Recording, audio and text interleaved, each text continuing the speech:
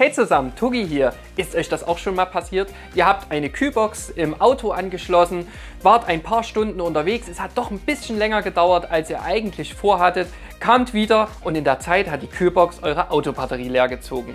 Dass euch das nicht passiert, habe ich heute ein ziemlich cooles neues kleines Gadget für euch, ebenfalls von Plug-in Festivals. Und wenn ihr wissen wollt, wie das funktioniert und vor allem wie gut es funktioniert, dann bleibt dran.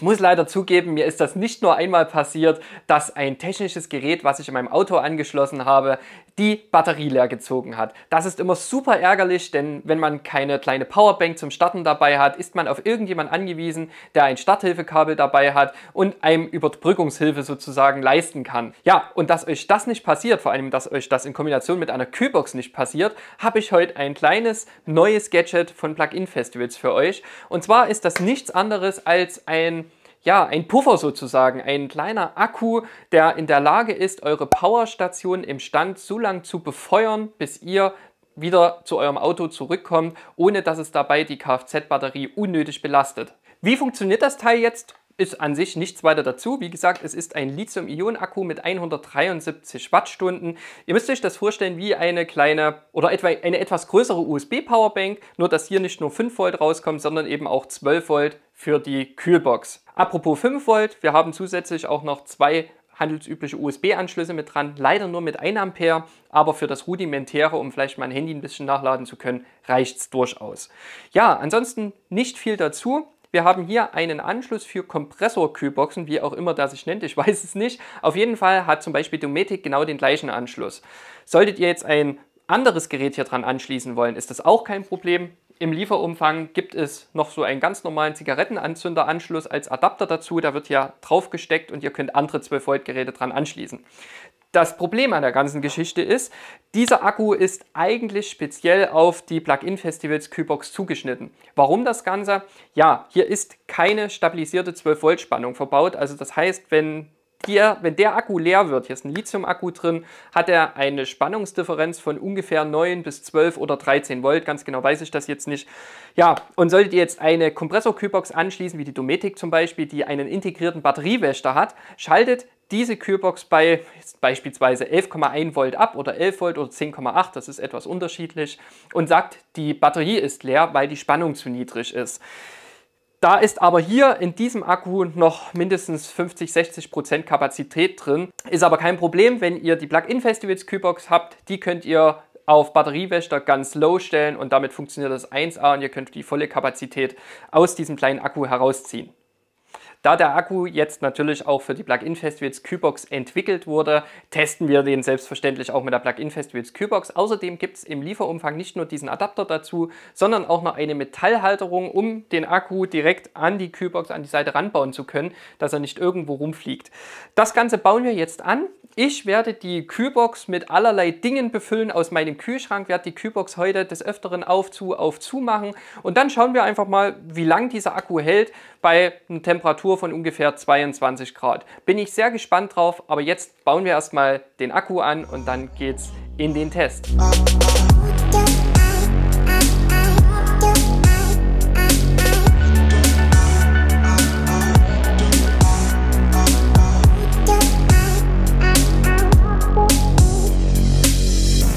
So, der Akku ist angebaut, ging total easy, waren vier Schrauben, super cool gelöst in meinen Augen. Hält auch richtig stabil. Oh, da klappert eher mein Tisch anstatt die Kühlbox, also richtig cool, gefällt mir sehr, sehr gut. Kommen wir jetzt zum eigentlichen Test. Wie führe ich diesen Test durch? Zum einen werde ich die Kühlbox mit allen möglichen Lebensmitteln füllen, die ich so tagtäglich verwende, dass ich die Kühlbox auch den ganzen Tag über immer mal wieder auf und zu machen muss, um so ein ja, eine realistische Gegebenheit zu simulieren.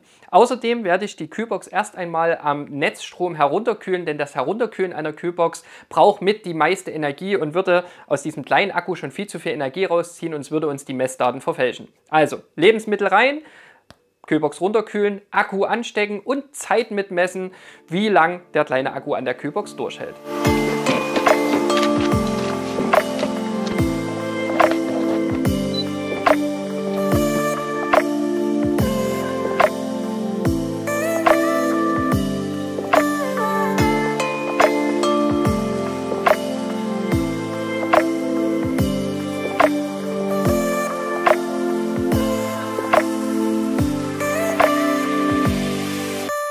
Die Kühlbox hat gerade eben auf F1 umgeschaltet, das heißt so viel wie Akku leer, also Spannung zu niedrig. Wir haben jetzt noch eine Spannung von 9,6 Volt und äh, ja, die Kühlbox funktioniert jetzt nicht mehr.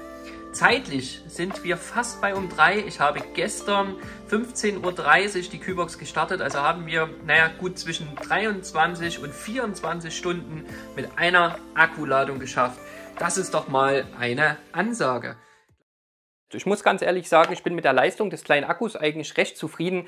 Man muss natürlich wieder dazu sagen, das Ganze findet hier sozusagen unter Laborbedingungen statt. Wir haben hier nur 21, 22 Grad. Im Sommer sieht das Ganze natürlich anders aus, wenn es draußen 30, 40 Grad im Auto sind dann nimmt natürlich die Leistung auch entsprechend ab. Aber es ist vielleicht für euch mal ein schöner Richtwert, um ungefähr abschätzen zu können, wie lange man mit diesem kleinen Akku hinkommt. Eigentlich ist er ja auch nicht für den Dauerbetrieb gedacht, ist ja wirklich nur als Puffer gedacht, dass er wirklich zwischen Auto und Kühlbox läuft und dafür macht er auf jeden Fall seinen Job in meinen Augen.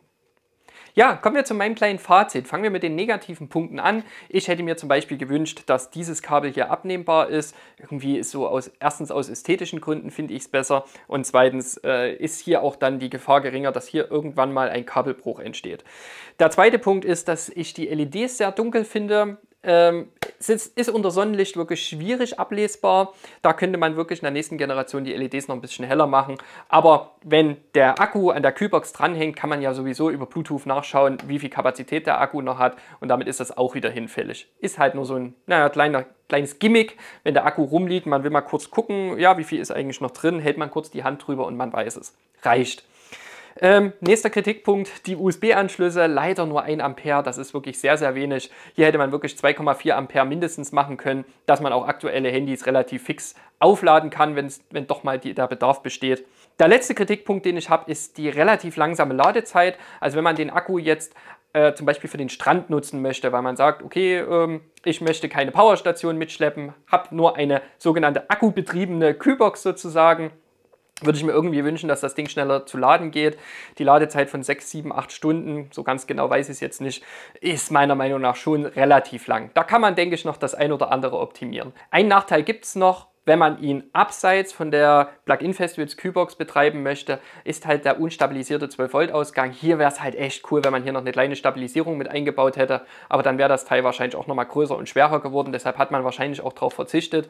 In Kombination mit der Plug-in-Festivals Kühlbox kein Thema. Sollte man eine andere anschließen wollen, eine Dometic Kühlbox oder irgendwas, irgendeine andere mit Batteriewächter, dann wird es halt hier kritisch, denn dann kann man nicht die ganze Kapazität des Akkus verwenden. Ansonsten, meckern auf hohem Niveau, wenn ihr mich fragt. Ich finde es super cool, vor allem eben, weil man keine Powerstation mitschleppen muss. Man muss kein irgendein Gerät dazwischen stecken, muss ich keine teure Powerstation kaufen mit Wechselrichter integrierten, allen möglichen anderen Spielereien, die man eigentlich gar nicht braucht, weil man eben wirklich nur die Kompressorkühlbox im Auto betreiben möchte, im Mikrocamper betreiben möchte, etc. Sie macht eine gute Leistung, 173 Wattstunden. Genau, das Design, gut, zeitlos, ist Geschmackssache, passt zur Plug-in-Festivals Kühlbox, kann man nicht großartig meckern, finde ich jetzt auch nicht irgendwie schlimm. Also ja, ist halt ein Akku, ne? ist ein Akku, der an die Seite rangeschraubt wird und gut. Apropos ranschrauben, ich finde es auch toll, dass von Plug-in-Festivals zum einen die Halterung mit dazugegeben wird, dass man den Akku hier ranschrauben kann und zum anderen, dass außerdem noch ein weiterer Adapter dabei ist, um auch andere 12 Volt Geräte anschließen zu können. Weil der Vorteil an der ganzen Geschichte ist, ihr geht zum Beispiel an den Strand, wollt jetzt eine Kühlbox nicht unbedingt mitnehmen, habt aber eine große Luftmatratze, ein aufblasbares Einhorn oder was auch immer dabei und wollt mit einer Elektroluftpumpe einfach schnell eure Luftmatratze aufpusten, könnt ihr das Teil auch problemlos für verwenden, weil halt ein Adapter dabei ist. Ziemlich cool. So, wenn euch das Teil jetzt interessiert oder die Plug-in-Festivals Kühlbox, dann schaut doch mal unten in der Videobeschreibung, dort habe ich euch beide Produkte verlinkt. Außerdem gibt es noch einen Rabattcode von mir dazu, dass ihr noch ein kleines bisschen was dabei sparen könnt. Solltet ihr euch jetzt nochmal für ein ausführliches Review von der Plug-in-Festivals Kühlbox interessieren, dann habe ich euch hier oben einmal das nächste Video verlinkt. Ich habe die Plug-in-Festivals Kühlbox wirklich ausführlich getestet und das könnt ihr euch in Ruhe einmal anschauen. Und ja, wenn euch das Video gefallen hat, lasst ein Like da. Ansonsten bedanke ich mich wie immer recht herzlich fürs Zuschauen Zuschauen und bis zum nächsten Video. Macht's gut, Leute!